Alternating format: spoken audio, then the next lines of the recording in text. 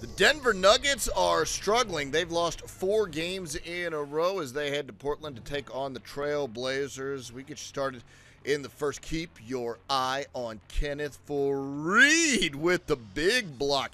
He had three blocks on the game. Look at him chugging back and getting Wesley Matthews on that one.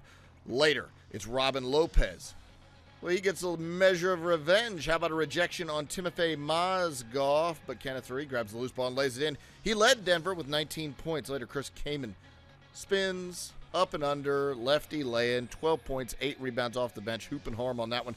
Portland up 31-25. Wes Matthews playing well. Nick Batum finds him, and Wes Matthews delivers. Three-pointer goes down. He was 5 of 13 from range on the game. Final seconds of the half.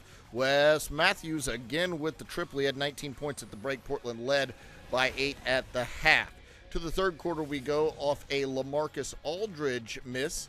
It's Nicolas Batum getting the offensive rebound, getting it back to LaMarcus Aldridge, and this time he does not miss.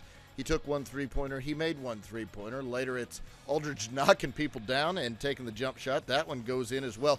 28 points, nine rebounds on the game. The block party continues. This is JaVale McGee getting rejected by Chris Kaman. All sorts of chaos down low.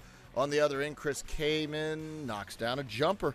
That's full service Chris Kaman right there. 77 67. Portland in front. Damian Lillard skipping it to Steve Blake for the three pointer. He was three of three from range. Portland made 16 triples in the game. They're up 96 79. The top of the key. Temper started to flare here. Kenneth Faried shoves Steve Blake in the back, and Steve Blake's not having any of it. Double technical fouls were assessed, and Steve Blake was given a flagrant one foul.